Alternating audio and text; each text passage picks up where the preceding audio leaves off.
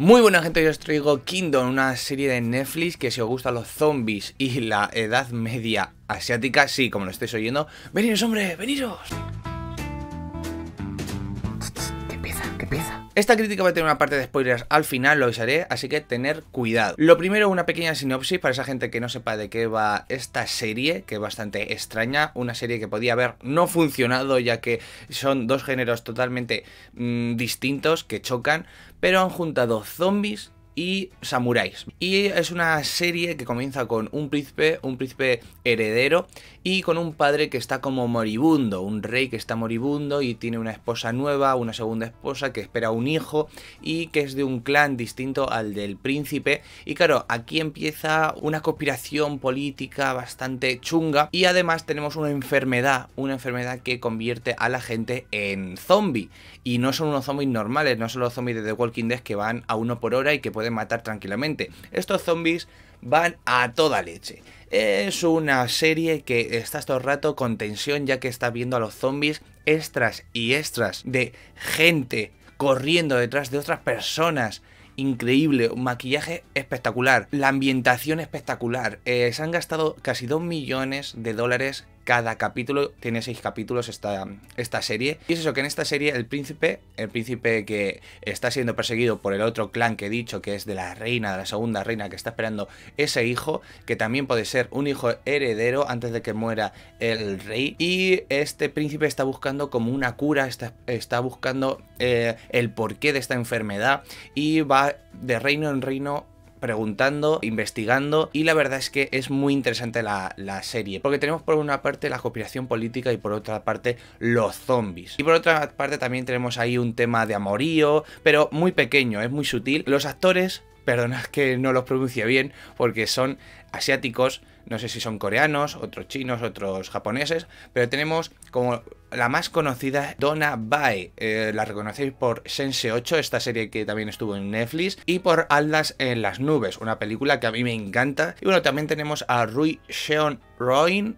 eh, es uno de los eh, malvados de esta serie. También tenemos a Ji Hong Yu, que es el príncipe. La serie está doblada en español, no está subtitulada. Podéis verla así perfectamente si os da pereza. La versión original se va a ver mejor. Eh, las situaciones van a ser más naturales. Aquí a los que son un poco más idiotas les ponen voz de idiotas en español y a los que son más rudos, personas que son más valientes, pues le ponen las típicas voces de héroes. Esta serie es increíble, esta serie lo da todo y más. Es una serie que no te da respiro, una serie que tiene un montón de giros argumentales. El final de esta temporada me ha encantado quiero ver ya la segunda temporada. Es espectacular. Es una de las mejores series de zombies que he visto, ¿vale? Y que técnicamente sea increíble. Es brutal. Vais a ver los paisajes, vais a ver los vestuarios, vais a ver las batallas, vais a ver los temas de estrategia. Hay batallas estratégicas, de verdad. Es muy, muy buena. Seis capítulos. Si os gusta eh, los zombies, si os gusta el tema político, si os gusta la tensión, el miedo,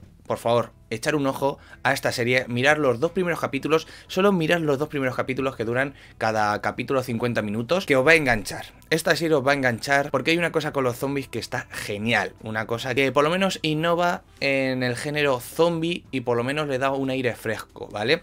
Y nada, estoy esperando ya la segunda temporada y lo demás que quiero decir en este de esta serie voy a hacerlo en la zona de spoiler, ¿vale? Para no destriparos. Y nada, a esta temporada le voy a poner un 9 porque es espectacular. Le voy a poner un 9 como temporada, como primera temporada de una serie. Es genial comparándola con series de zombies y tal, ¿no? No voy a comparar esta con Breaking Bad o con True Detective, porque no es lógico. Digo, el género zombie, pues para mí es un 9 por la calidad que tiene y por todo lo bueno que tiene esta serie, ¿vale?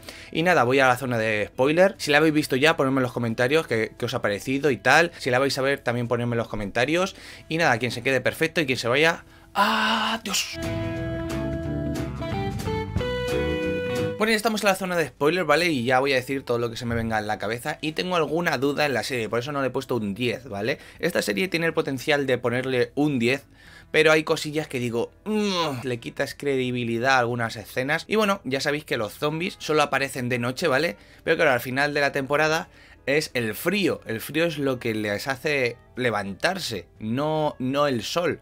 Y es un giro argumental súper bueno al final de la temporada que te deja con ganas de ver esa batalla que va a ocurrir en el principio de la segunda temporada. Pero bueno, ¿qué es eso? Con el calor, con el sol, al principio de la temporada pues eh, se ocultaban porque hacía mucho calor.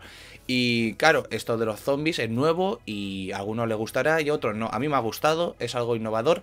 Y en un momento dado, en el hospital, cuando se comen a ese hombre, a ese zombie, ¿no? Empiezan a convertirse todos, pues quedan vivos o quedan sanos eh, dos protagonistas, que es la chica y el chico este, el tío que es como un ex general del ejército, ¿no? Que ayuda a esta chica a escapar de estos zombies y como que prepara esa zona, ese hospital, para que no salgan esos zombies. Y digo yo, mm, bien pensado, no pueden escapar y así no pueden infectar a más personas. Pero luego, posteriormente, no sé si en el capítulo 4 creo que el 4 o el 5, pues este personaje que custodiaba ese, hospital les dice cómo matar a los zombies. Y no sé si esto lo ha descubierto cuando ya ha salido del hospital, cuando ya eh, han salido de los zombies de ese hospital, o antes, o antes porque ha eliminado a uno de estos zombies. Y yo pienso, si esto lo sabe antes es un error de guion, ya que si lo sabes y están dormidos por la mañana porque hace calor, hace sol, pues ¿por qué no les cortas la cabeza cuando están dormidos?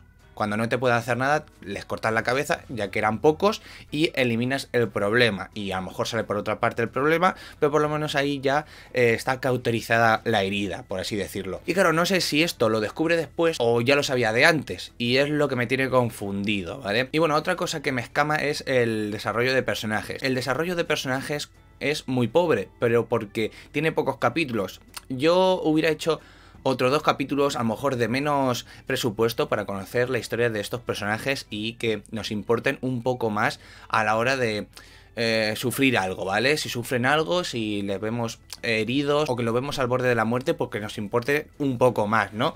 Pero hay momentos de tensión muy buenos. También es espectacular todos esos extras que van detrás de, esos pueblerinos cuando ya se convierten en zombies.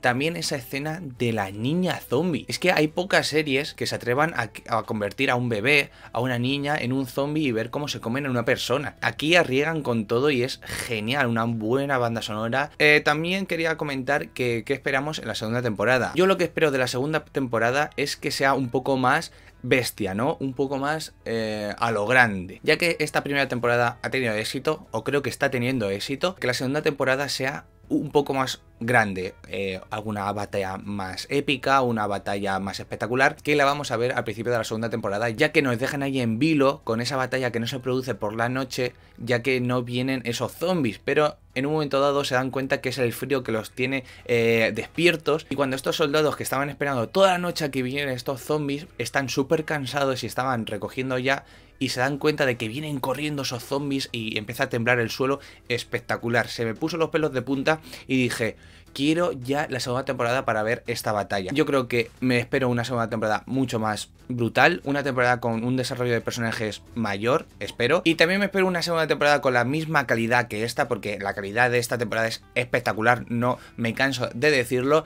pero me espero, es eso, una segunda temporada igual, pero un poco más arriesgada y con momentos que nos dejen pálidos como el final de esta primera temporada. Y nada, con esto ya termino. Eh, ponedme en los comentarios si os ha gustado, si habéis visto la serie, si estáis aquí solamente habéis visto la serie. Suscribiros, dar a me gusta y hasta la próxima, gente. ¡Adiós!